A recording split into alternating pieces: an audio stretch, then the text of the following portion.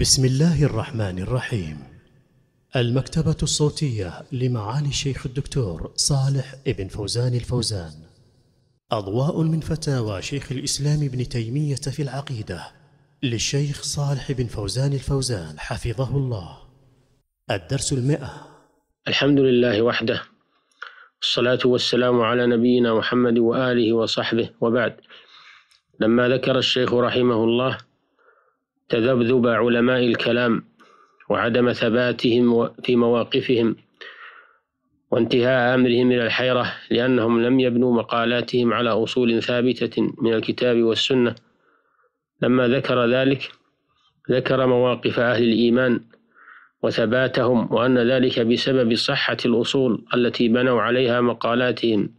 قال رحمه الله ولقد كان من أصول الإيمان أن يثبت الله أن يثبت الله العبد أن يثبت الله العبد بالقول الثابت في الحياة الدنيا وفي الآخرة.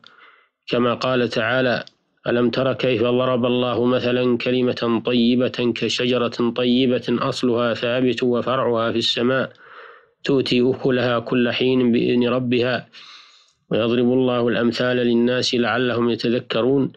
ومثل كلمة خبيثة كشجرة خبيثة اجتثت من فوق الأرض ما لها من قرار. يثبت الله الذين آمنوا بالقول الثابت في الحياة الدنيا وفي الآخرة ويضل الله الظالمين ويفعل الله ما يشاء. والكلمة أصل العقيدة فإن الاعتقاد هو الكلمة التي يعتقدها المرء. وأطيب الكلام والعقائد كلمة التوحيد. واعتقاد أن لا إله إلا الله. وأخبث الكلام والعقائد كلمة الشرك وهو اتخاذ إله مع الله فإن ذلك باطل لا حقيقة له ولهذا قال سبحانه ما لها من قرار. ولهذا كان كلما بحث الباحث وعمل العامل على هذه الكلمات والعقائد الخبيثة لا يزداد إلا ضلالا وبعدا عن الحق وعلما ببطلانها كما قال تعالى والذين كفروا أعمالهم كسراب بقيعة يحسبه الظمآن ماء حتى إذا جاءه لم يجده شيئا. ووجد الله عنده فوفاه حسابه والله سريع الحساب. أو كظلمات في بحر لجي يغشاه موج من فوقه موج من فوقه سحاب. ظلمات بعضها فوق بعض. إذا أخرج يده لم يكد يراها. ومن لم يجعل الله له نورا فما له من نور. فذكر سبحانه مثلين. أحدهما مثل الكفر والجهل المركب الذي يحسبه صاحبه موجودا وفي الواقع يكون خيالا معدوما كالسراب. وأن القلب عطشان وأن وأن القلب عطشان إلى الحق كعطش الجسد إلى الماء. فإذا طلب ما ظنه ماء وجده سرابا. ووجد الله عنده فوفاه حسابه والله سريع الحساب. وهكذا تجد عامة هؤلاء الخارجين عن السنة والجماعة. والمثل الثاني مثل الكفر والجهل البسيط الذي لا يتبين فيه صاحبه حقا ولا يرى فيه هدى. والكفر المركب مستلزم للكفر البسيط وكل كفر لا بد فيه من جهل مركب. فضرب الله سبحانه المثلين بذلك ليبين حال الاعتقاد الفاسد. ويبين حال عدم معرفة الحق وهو يشبه حال المغضوب عليهم والضالين. حال المصمم على الباطل حتى يحل به العذاب وحال الضال الذي لا يرى طريق الهدى. فنسأل الله العظيم أن يثبتنا بالقول الثابت في الحياة الدنيا وفي الآخرة وأن يرزقنا الاعتصام بالكتاب والسنة. ثم فصل الشيخ رحمه الله في حقيقة ما ينسب إلى بعض المشايخ من الشطحات فقال ومن أمثلة ما ينسبه كثير من أتباع المشايخ والصوفية إلى المشايخ الصادقين من الكذب والمحال أو يكون من كلامهم المتشابه الذي تأولوه على غير تأويله أو يكون من غلطات بعض الشيوخ وزلاتهم أو من ذنوب بعضهم وخطئهم مثل كثير من البدع والفجور الذي يفعله بعضهم بتأويل سائغ أو بوجه غير سائغ فيعفى عنه أو يتوب أو يتوب منه أو يتوب منه أو يكون له حسنات يغفر له بها أو مصائب يكفر عنه بها أو يكون من كلام المتشبهين بأولياء الله من ذوي الزهادات والعبادات والمقامات وليس هو من أولياء الله المتقين بل من الجاهلين الظالمين المعتدين أو المنافقين أو الكاذب أو الكافرين. وهذا كثير ملأ العالم. تجد كل قوم يدعون من الاختصاص بالأسرار والحقائق ما لا يدعي المرسلون وأن ذلك عند خواصهم وأن ذلك لا ينبغي أن يقابل إلا بالتسليم ويحتجون لذلك بأحاديث موضوعة وتفسيرات باطلة مثل قولهم عن عمر إن النبي صلى الله عليه وسلم كان يتحدث هو وأبو بكر بحديث وكنت كالزنجي بينهما. فيجعلون عمر مع النبي صلى الله عليه وسلم وصديقه كالزنجي وهو حاضر يسمع الكلام.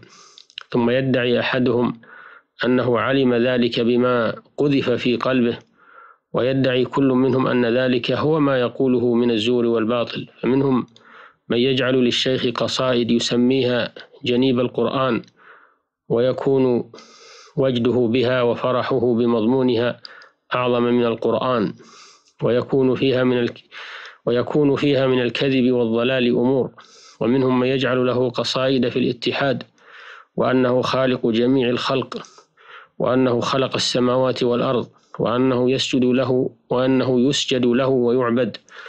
ومنهم من يصف ربه في قصائده بما نقل في الموضوعات من أصناف التمثيل والتكييف والتجسيم. التي هي كذب مفترى وكفر صريح مثل مثل مواكلته ومشاربته ومماشاته ومعانقته ونزوله إلى الأرض وقعوده في بعض رياض الأرض ونحو ذلك ويجعل كل منهم ذلك من الأسرار المخزونة والعلوم المصونة التي تكون لخواص أولياء الله المتقين. ومن أمثلة ذلك أنك تجد عند الرافضة والمتشيعة ومن أخذ عنهم من دعوى علوم الأسرار والحقائق التي يدعون أخذها عن أهل البيت إما من العلوم الدينية وإما من علم الحوادث الكائنة ما هو عندهم من أجل الأمور التي يجب التواصي بكتمانها والإيمان بما لا يعلم حقيقته من ذلك. وجميعها كذب مختلق وإفك مفترى وهؤلاء خرج أولهم في زمن أمير المؤمنين علي بن أبي طالب رضي الله عنه وصاروا يدعون أنه خص بأسرار من العلوم والوصية حتى كان يسأله عن ذلك خواص أصحابه فيخبرهم بانتفاء ذلك. ولما بلغه أن ذلك قد قيل كان يخطب الناس وينفي ذلك عن نفسه. قد خرج أصحاب الصحيح كلام علي هذا من غير وجه مثل ما في الصحيح عن أبي جحيفة قال سألت عليا هل عندكم شيء ليس في القرآن؟ فقال لا والذي فلق الحبة وبرأ النسمة. ما عندنا إلا ما في القرآن إلا فهما يعطيه الله الرجل في كتابه. وما في هذه الصحيفة؟ قلت وما في الصحيفة؟ قال العقل يعني الدية. وفكاك الأسير وألا يقتل مسلم بكافر. ولفظ البخاري هل عندكم شيء من الوحي غير ما في كتاب الله؟ قال لا والذي فلق الحبة وبرأ النسمة ما أعلمه إلا فهما يعطيه الله رجلا في القرآن.